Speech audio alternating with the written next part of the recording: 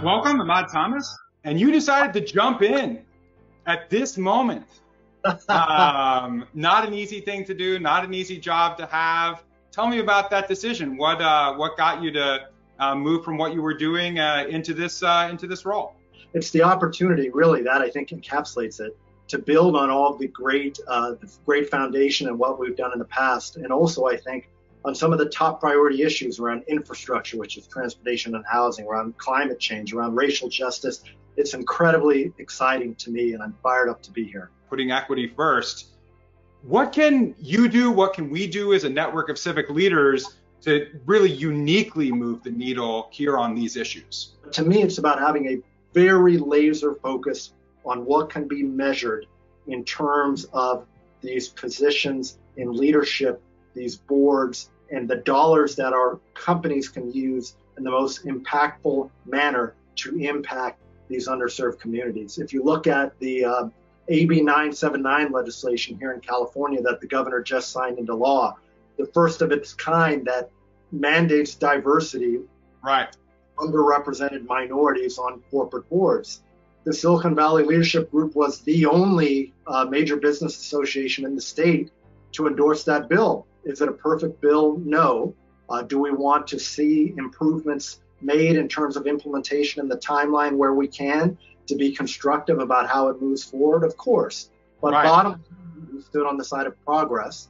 We're the only ones to do so.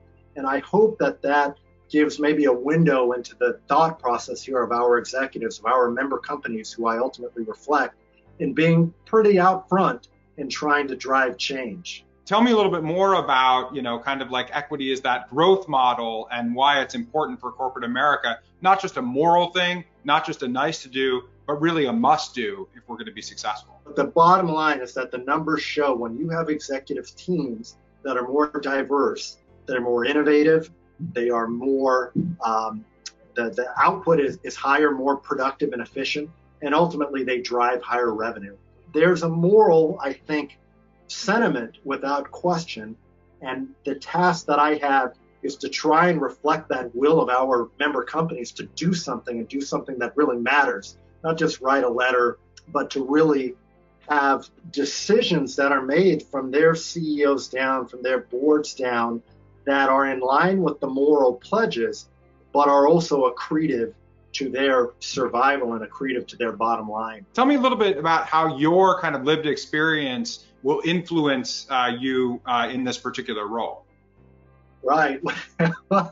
I look around, there, there, are not a lot of black executives that I see here in Silicon Valley. I, I think the same goes when you look at, uh, you know, people of color across the spectrum. Uh, and for women of color, it's especially acute, the issues that we face here. Uh, my background, my mother's an immigrant from the Caribbean, West Indian from Trinidad and Tobago. My father is from uh, the rural South, Alabama. He grew up in the segregated South. I, I would hope that there's um, a, a, real genuine part of me when we talk about values, some of that small ter- small town values, some of the values that just that I've been raised as I share a little bit about my family history that always recognizes maybe how deep these disparities are. Or folks with, with my background, I, I think it takes maybe a, a real exceptional set of of life experiences where you connect the dots. You don't just fall into a role like this, right? Uh, I probably staffed a thousand plus meetings